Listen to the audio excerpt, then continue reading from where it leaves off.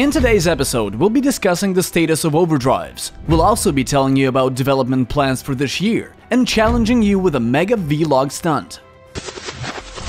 Hello tankers! Holidays are over and we're all back to school or work. So how's it going for you? And how's it going with the challenge? Tell us in the comments below. Last week, we promised you that in upcoming episodes, we'd be sharing more development news with you and telling you more about overdrives. So, it's not looking good. Overdrives are still causing problems. With each new test we run, we're finding more bugs to squish. We know many of you are eagerly awaiting this new feature. The few who aren't either don't know about it or still haven't understood just how cool overdrives will be for the game. But while you wait, here's some new information specifically related to Vikings Overdrive, the increased firing rate. It turns out this effect will not be as crazy as we saw in episode 194 of the vlog, due to technical issues with displaying too many shot effects, which is decreasing FPS, so we've had to tone it down. That said, the increased firing rate will still be enough to wipe out an enemy base or a crowd of tanks on a gold box. Moreover, we're compensating for the reduced firing rate with a significant increase in damage for the duration of the overdrive's active time. Let's all be patient and wait together, and let's hope the gods of coding decide to smile upon our programmers soon. Global development plans. There are loads of ideas flying around here, with new and interesting proposals for both gameplay and visuals, but we'll be talking about them later, when we get closer to the actual releases. Our main goal for Tanki this year is to minimize the number of tankers playing the Flash version, and get them to shift to HTML5 and mobile versions. To do this, we need to improve the HTML5 version to a point where it's far superior to Flash. At the same time, we'll be updating the game interface in the browser version, because it's been long overdue. Then we'll be able to implement the optimization developments from TO Mobile into the desktop version. This should improve performance significantly, and by that we mean an improvement of 2x or more.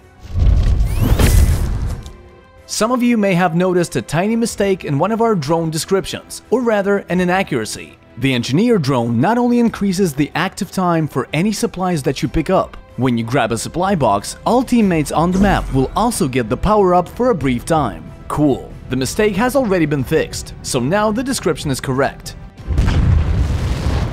If you've been playing Tanki for any length of time, you're probably familiar with the beginner's tips that shows up while a battle is loading. Here's where we need your help. We want to include even more tips on this loading screen. Do you have a special gameplay tactic that you've learned from experience? Or maybe an unusual way to perform a common maneuver? Share it with us and let's help educate new tankers together. Submit your ideas in the special form. The link is in the vlog's description. Video of the week. Last time, we gave you the freedom to shoot anything you please, but you had to do it on a winter map, while wearing the black paint. Let's watch the best video.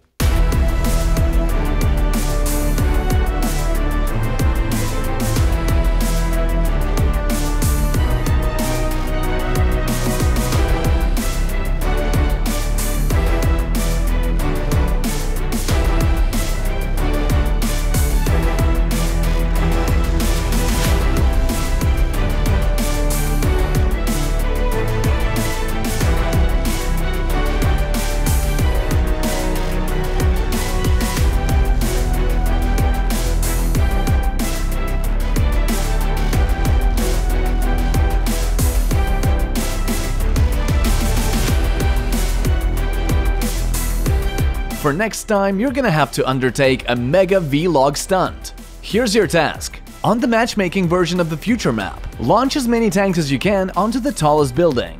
The more tanks you get on the building, and the higher you get them, the better your chances of winning. Each tank that lands on the building is worth a number of points, depending on where it lands. Tanks on the lowest level are worth 1 point, those that land on the mid-level are worth 3, and finally, those that make it to the topmost level are worth 5 points. Let's say a team has 5 participants, 2 of the tanks reach the topmost level, 2 reach the mid-level, and 1 lands on the lowest level. This gives the team 17 points in total. Here's one more example. And another one. The team with the most points at the end wins. Now the rules. Use regular gravity. Team size is limited by the map's capacity, 16 people. So in theory, the maximum number of points you can get is 80, if you participate with 16 tanks and get them all on the topmost level.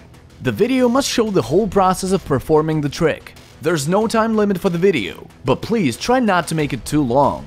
All team members and their nicknames should be clearly visible so that the organizers can calculate points accurately. It is forbidden to use the plasma torch alteration on Ricochet. Deadline for the videos is 9am UTC on January 23rd. That's a Wednesday. Remember, no need to rush. This time the number of points is all that matters. Now the reward. The team that scores the highest number of points will receive 1 million crystals to share between themselves, plus a weekly container for each tanker in the team.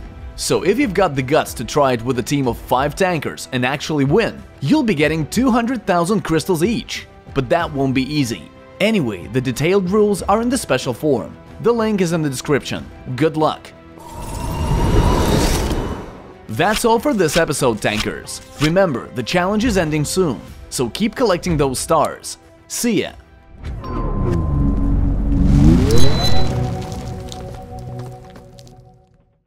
Last week, Hammer fired at three tanks simultaneously.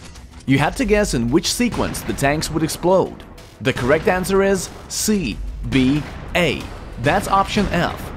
Let's welcome our winners and watch the new question.